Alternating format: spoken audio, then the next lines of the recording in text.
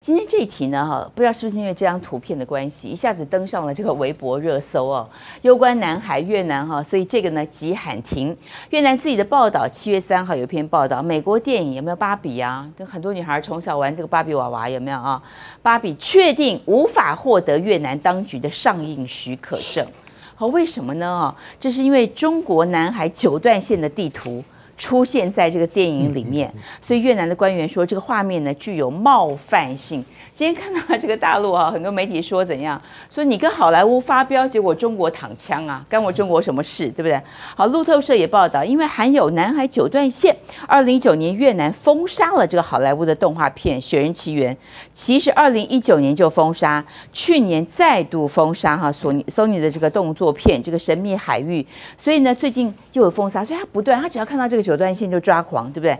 当然这九段线，我们稍后请接大使来讲一下，是中国对南海地区的。这个主权主张，当然越南不承认啊。这事情为什么这么敏感？只不过是电影而已，要整个连电影都封杀。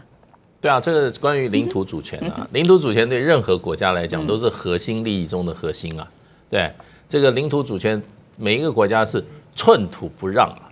对，那这个九段线其实是中华民国的主张。哎，这个就是二次大战以后哈。那时候我们去接收我们这个南海传统的岛屿啊，我们派了很，我们派了军舰，包括太平舰、中叶舰啊这些哈，一个舰队下去哈，把这个哈我们在南海的岛屿哈都设立界碑，然后呢公布了一段九段线，那这个呃十一段线，十一段线是我们我们今天我们中华民国还是十一段线，我们并没有放弃啊，我们对南海的主权的这个主张啊，跟今天中国大陆。完全没有没完全没有变化，那最主要是中国大陆，因为他们在这个建政以后啊，他因为开始的时候跟越南关系蛮好的啊，因为他帮助越南跟抵抗美国这个侵略啊，所以在一段时间在越南跟这个中国大陆很好时候，他们在北部的这个哈越南北部有关跟中国临接这个水域哈，那么做过领土方面谈判，而且达成协议了，达成协议以后。那个时候就说，那这两条线就不需要了。靠近越南北部的两条线啊，我们一共九段线，我们是十一段。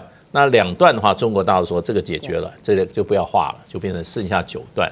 那么九段线的出处是中华民国在抗战胜利以后啊，那么哈对这个南海的传统中，我们的我们中国的主权哈做了一个非常明确的一个哈勘察，然后呢呃宣示跟实际的管制管辖。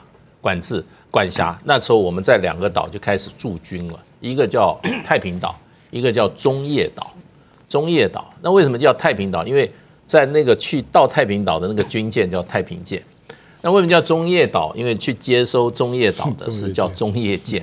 那所以就一个太平岛，一个中叶岛，而且这两个岛是整个南海里面唯一能够让有淡水，然后可以维持自己经济生活的两个最大的岛屿。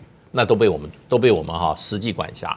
那中叶岛在在后来，因为因为这个哈常常台风啊补给补给不上哈，所以有一阵子台风呢就撤了，就撤了以后就都撤到有的撤回台湾，有的撤到太平岛以后，那后来就被菲律宾趁虚而入，把中叶岛把它抢去了。不过这是另外一段话。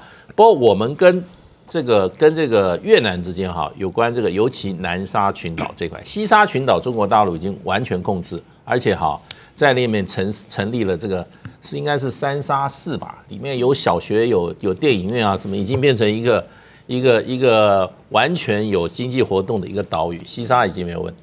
那南沙的部分呢，我们最大的岛就是我们太平岛，我们现在还有什么海巡署上百名的官军转，我也去过。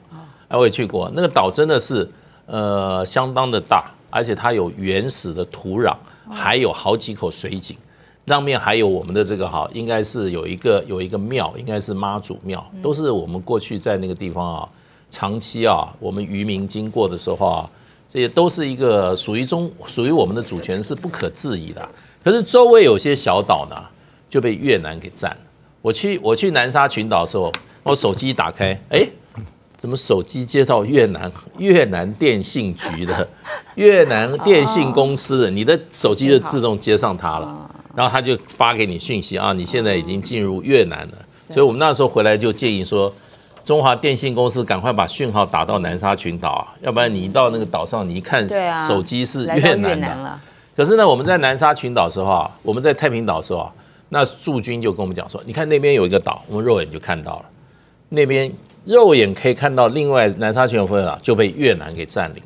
那越南事实上在南沙占的岛最多，因为它靠近他们比较，而且最早开始的这个在这个南海哈填沙造岛的哈就是越南，越南填了好几个岛，不是中国大陆开始在那边造岛，我们的太平岛是原始形成的哦。越南就是这个岛这么小，他给给他填海填的那么大的，越南最先开始搞，所以越南对于南沙，对于我们这个南海的主权哈是挑战最大的。挑战最大的，所以呢，所以他们是很认真的，而且呢，他们已经在靠近越南水域的附近的这个哈，应该是在我们九段线以内的水域啊，我们的九段线，我们的十一段线里面，已经非法在开采属于我们的石油了。那这个石油呢，听说一年有人说大概收益高达四十亿美元。所以越南已经在盗取我们的石油的资源了，海底石油。那可是中国大陆事实上跟越南在过去五六年曾经因为这个越南非法进入中国的领海啊，也就是九段线以内哈，来探勘石油，起过很多次冲突。对。那所以这个中间这边事实上不是跟菲律宾的这个直接的冲撞很多，最多是跟越南。哎，那我就要问了啊。那这个九段线，中国南海的九段线，越南不高兴。那为什么中国南海九段线会出现在美国电影里面？我跟你讲，美国 而且还不止一次哦。美国要不然就是不知道，要不然就是故意的。故意的。哎，因为美国遗留很多问题。对。当时我们去接收这个太平太平南海诸岛的时候，美国帮我们忙的。嗯。美国很支持我们的。哦。而且美国。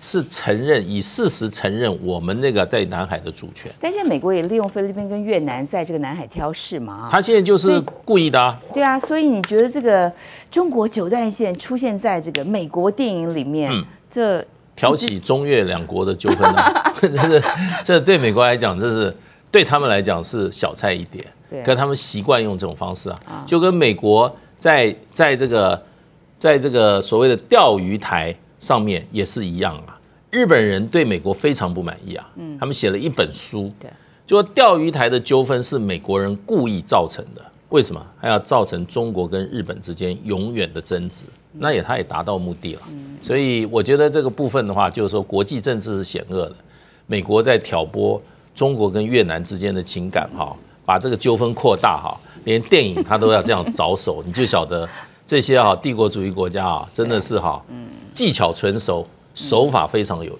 有有用。